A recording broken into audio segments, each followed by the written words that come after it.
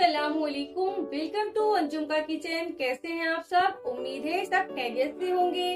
आज हम बनाएँगे भुना कीमा, वो भी मेरे स्टाइल में। चलिए स्टार्ट करते हैं।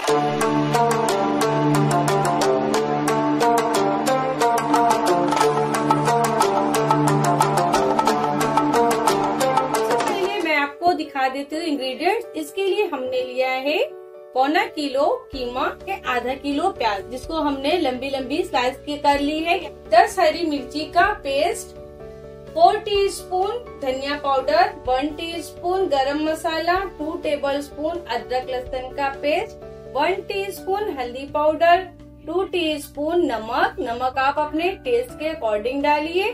One and half teaspoon chilli powder एक तेज पत्ता तीन लौंग, दो छोटी इलायची और एक बड़ा दालचीनी का टुकड़ा। यहाँ फ्लेम पे हमने प्रेशर कुकर रख दिया है। उसमें हमने मस्टर्ड ऑयल यानी के सरसों का तेल गरम करने के लिए रख दिया था।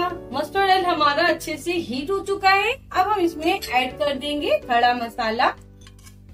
जैसे ही खड़े मसाले की खुशबू उड़ने लगेगी, हम इसमें ऐड कर देंगे थोड़ा सा प्याज जो हमने काट के रखा था। उसमें से थोड़ा सा प्याज डाल के इसको गोल्डन ब्राउन कलर का कर देंगे। कीमे में हमने 10 परसेंट फैट रखा हुआ है। फैट डालने से कीमे का एक अलग ही टेस्ट हो जाता है। आप भी ज़रूर डालें। प्याज गोल्डन ब्राउन कलर की हो गई है। अब हम इसमें ऐड कर देंगे कीमा।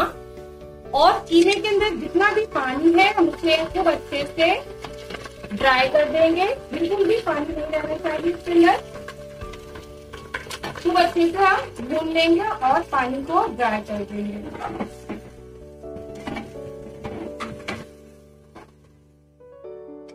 दस से पंद्रह मिनट तक हम कीमे को अच्छे से भून लेंगे, जब तक इसका सारा पानी अच्छे से ड्राई नहीं हो जाता है।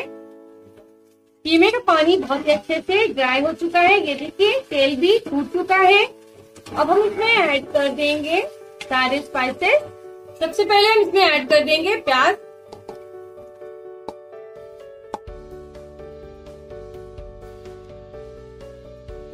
प्याज को अच्छे से मिक्स कर लेंगे।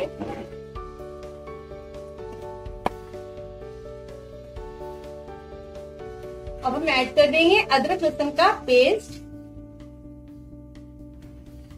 हरी मिर्ची का पेस्ट। लाल मिर्ची का पाउडर, चिल्ली पाउडर, गरम मसाला। ऐड करेंगे अब हल्दी पाउडर। धनिया पाउडर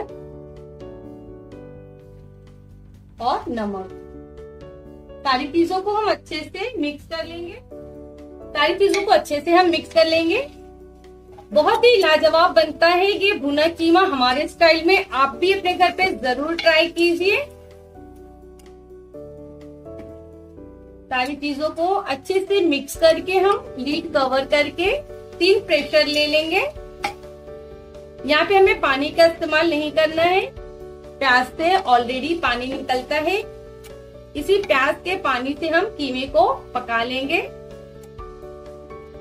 अब लीड कवर करके हम रख देंगे और तीन प्रेशर ले लेंगे इसमें। यहाँ पे फ्लेम को हमने स्लो किया है। पाँच मिनट के लिए हम फ्लेम को स्लो कर देंगे। उसके बाद हाई फ्लेम पे तीन प्रेशर ले लेंगे। प्रेशर कुकर में तीन प्रेशर हो चुका है। उसके बाद हमने इसे पाँच मिनट के लिए लो फ्लेम पे पकाया है। फिर हमने फ्लेम को ऑफ़ कर दिया है। अब यहाँ देखिए, प्रेशर भी निकल चुका है। अब हम ढक्कन को खोल लेंगे।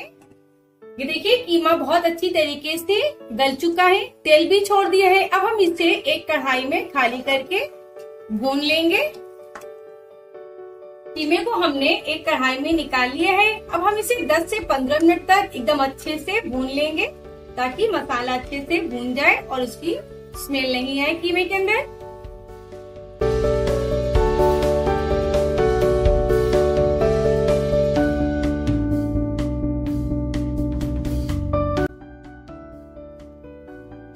कीमे में हमने बिल्कुल भी पानी ऐड नहीं किया है, आप देख सकते हैं। ये देखिए कितना अच्छा कीमा दिख रहा है, एकदम। इसमें हम कच्चा प्याज डालते हैं तो उसमें पानी निकलता है, उसी पानी से हमारा कीमा गल जाता है। कीमा हमारा अच्छे से भुन चुका है।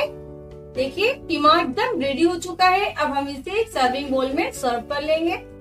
हमारे स्टाइल में आप भी कीमा इसी तरीके से बनाइए। इनशाला बहुत ही अच्छा बनेगा और आप लोगों को बहुत पसंद आएगा ये कीमा।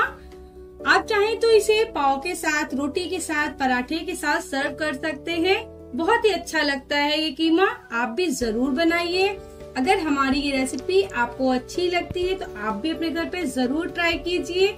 हमारी इस वीडियो को लाइक शेयर कमेंट ज़रूर कीजिए। अगर आप हमारे चैनल पे नए नए बने हैं तो हमारे चैनल को सब्सक्राइब कीजिए।